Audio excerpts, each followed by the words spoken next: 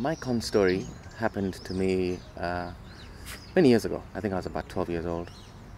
And so uh, I was quite versatile with sort of jumping into buses and stuff uh, for, from a really early age. And we got this phone call um, on our landline back home. And uh, some guy said there was, there was, there was a rice shortage happening in, in the country at the time. And this guy called and said, Now I've been sent by, uh, by your father uh, there's there's some rice that he had bought, which is is, uh, waiting for you in town. Meet me at, and he said, on Mama Ngina Street under the Red Bull sign. Uh, so, and bring seven thousand shillings. Now this is um, this is like 1985. Seven thousand shillings today is still a lot of money, but 85 was a lot, a lot of money.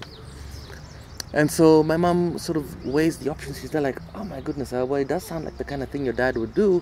Um, and it was it was pre cell phones, and uh, so she said, you know what, um, I, I, there's no way that I can reach him. So just let's let's not lose this opportunity. And so she sewed the seven thousand shillings into right under my lapel of my shirt to make sure that I didn't get pickpocketed in the bus on the way there. And so I, the most amount of money that I'd ever handled at the time, it was like a million dollars, you know. and I, so, so I, I take a 46 bus into town and I, I, I, I get off at Kencom and I walk over to, to Red Bull, which is kind of where Java is right now on Mama Ngina Street, across the street from, from 20th Century. And I meet this guy, you know, very sharply dressed, very well spoken. And he says to me, are you Eric? I'm like, yes. Uh, uh, you, you've you've you've you, you've come for the rice, and I said yes. He says okay. And did you did you bring the money? I said yes. So he says okay. Give me the money and wait for me right here. I'll be back in in a few minutes. I did that, and I started to wait, and I waited, and I waited, and I waited.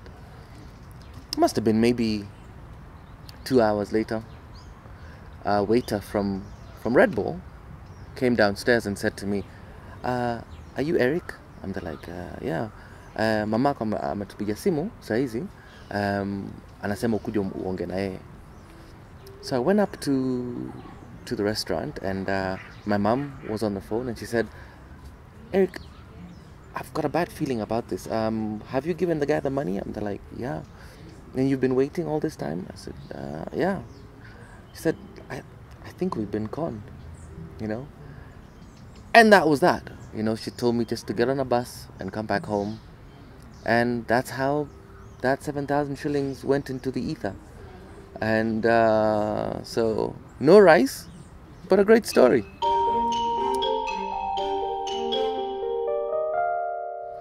Well, absolutely nothing. I mean, um, what can you do? I mean, I, I, guess we could have reported it to the police, or, but on the one hand, I mean, I was a 12 year old kid in town and um, I think we were just happy that nothing had happened to me, you know, uh, and that I'd just given the guy the money, or you know, as opposed to saying, as opposed to following him somewhere, you know. Um, so I'm, I'm, yeah. So so we we didn't report it, but but uh, now we are that much wiser, you know, and uh, we just know that uh, that's that's kind of how sometimes the streets of Nairobi can be.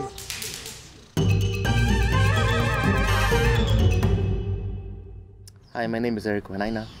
Uh, there's some things we really need to be careful about in this wonderful, wonderful city of ours, Nairobi. It's just uh, sometimes you find a lot of people are out to make a, a quick shilling. So janjaruka, usikoniwe. Sasa nafaa kufanya niambie nini tu? Kwani umetoka Nairobi gani wewe? Mi nilifeel kana naongea mamangu. Ya hizi ni bebe ufala hivi.